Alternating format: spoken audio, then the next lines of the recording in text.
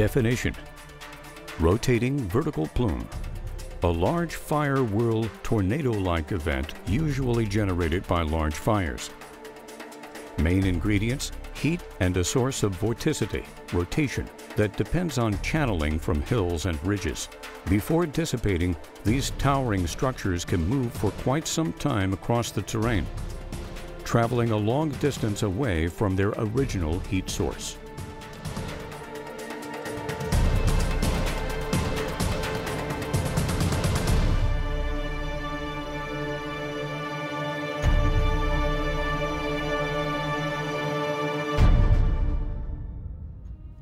If you are a wildland firefighter, do you know what this is? If you saw this phenomenon on one of your own wildland fire assignments, would you know what to do? During a wildfire burnout operation in extremely dry fuels, firefighters suddenly observe this growing, rotating plume. This massive, rotating vertical plume, captured on videotape that you are now seeing, is moving along the east edge of their burnout. Unfortunately, the crews who watch it swirl across this ridgeline don't see the plume as an imminent threat to adjoining forces. They never envision it ever being able to travel down off this ridge. But these people will not underestimate the potential power of a rotating vertical plume ever again. Neither should you. For in less than an hour, members of a nearby engine crew, completely unaware that this potentially fatal plume is bearing down on them, are suddenly hit by it. Now, a 1,000 foot wide and 1,500 foot high F1 scale tornado like phenomenon. As they try to flee its 70 mile per hour turbulence of embers and heat, firefighters must deploy their shelters, people are seriously burned.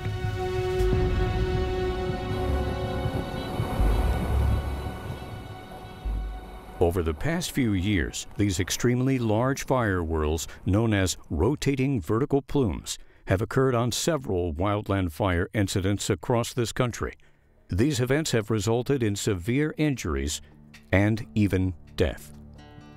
As this Indians fire incident now shows us, the potential hazards of these turbulent rotating vertical plumes should never be downplayed or ignored.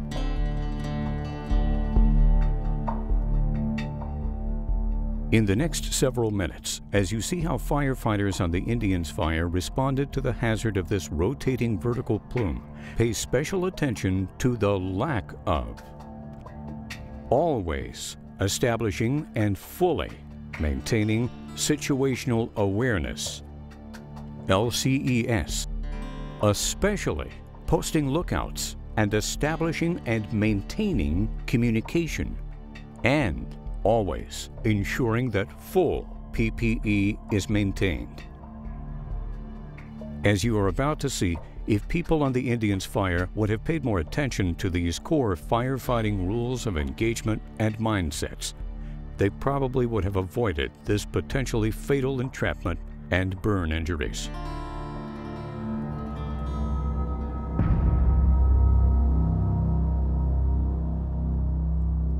It is June 11th. The Indians fire has been burning for three days in extremely dry chaparral fuels. At 1533, as he fires out along Milpitas Road, a hotshot squad boss sees a rotating vertical plume pop up north of the road. After another 30 minutes, the Division C night shift supervisor captures the same growing vertical plume with his video camera. Two different hotshot superintendents also observe this plume of embers and wind, now approximately 1,000 feet wide at its base. An entire hotshot crew also sees it. Everyone is taking pictures of it. No one is reporting it on the radio. After 10 more minutes, the Division C night soup now says that the plume is like a freight train. Even so, not that far away, the five people on Engine 71 still have no idea that this freight train has their name on it.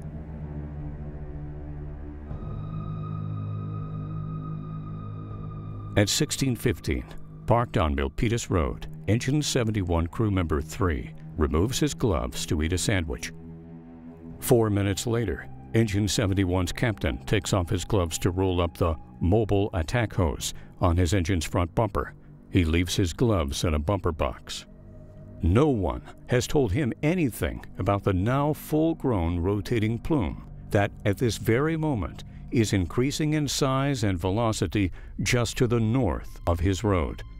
In the next two minutes, his crew learns of a spot fire on the south side of their road, approximately 500 feet back behind them. The captain tells the engine operator to turn the vehicle around. Crew member 1 helps direct this maneuver. The captain and crew members 2 and 3 walk down the road toward the spot fire, thinking that their engine, with their gloves and tools, will quickly be tying back in with them. Remember, two of these people are not wearing gloves. Firefighter 3 will later tell the accident team As we started walking towards the spot, conditions seemed the same as they had all day.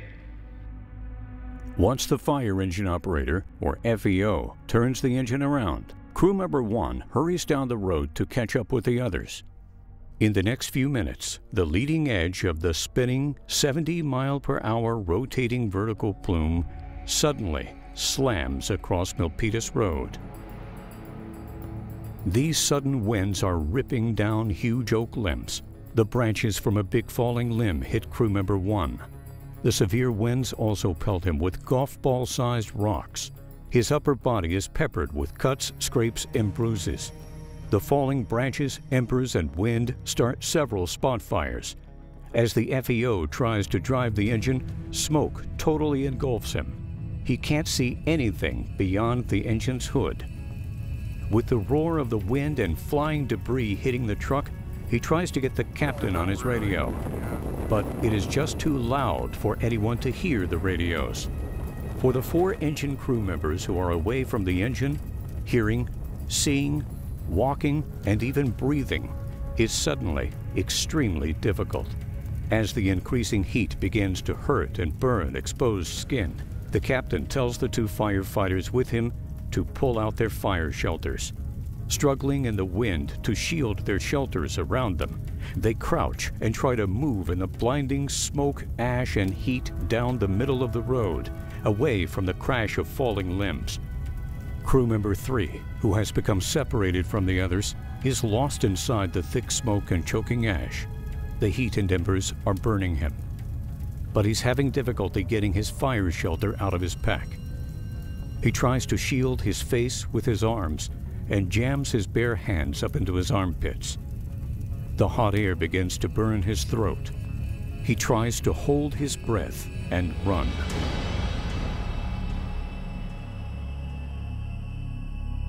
Fortunately for them, all of the firefighters, per chance, are saved by vehicles. First, Crew member 3 is picked up in the engine by the FEO, who successfully backs the rig out of the firestorm. Twenty seconds later, the division supervisor, driving through the smoke and fire on Milpitas Road, suddenly sees and rescues the engine captain and crew members 1 and 2. The two engine crew members who aren't wearing gloves receive second and third degree burns on their hands. The captain's neck and cheeks also suffered third degree burns. In addition, three engine crew members receive from superficial to serious burns on their faces, ears, and necks.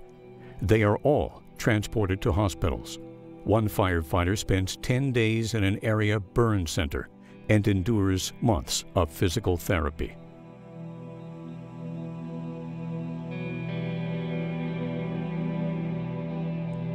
On all fires, you must always have all LCES elements in place. On Division C of the Indians fire, there were no posted lookouts. No one was designated to watch for potential hazards from a vantage point away from the active burnout. In addition, limited information was shared between suppression resources and overhead and no one spoke up to warn adjacent crews of the rotating vertical plume. the necessary life dependent situational awareness for firefighters was therefore severely compromised. On Division C of the Indians' fire, everyone underestimated the true hazards of the rotating vertical plume. We should all, therefore, remember why, on all fires, at all times, it is so vital to recognize changing conditions, communicate this information, and adjust tactics accordingly. And remember, whenever you are in a fire area, you must always maintain full safety awareness and protect yourself and your body with full PPE at all times if all of the firefighters suddenly entrapped by the rotating vertical plume on the Indians' fire had been wearing gloves and shrouds, they probably would not have received such severe burn injuries. What's more, if they all would have stayed with their engine, they would have been safe inside their mobile escape route. They could have driven together to the spot fire, assessed the sudden extreme conditions, and backed out. Thank you for watching this. As a wildland firefighter, we hope that these insights from this rotating vertical plume entrapment will help to ensure that such an ordeal never happens to you. Please stay heads up and remember these important lessons learned this fire season and every fire season.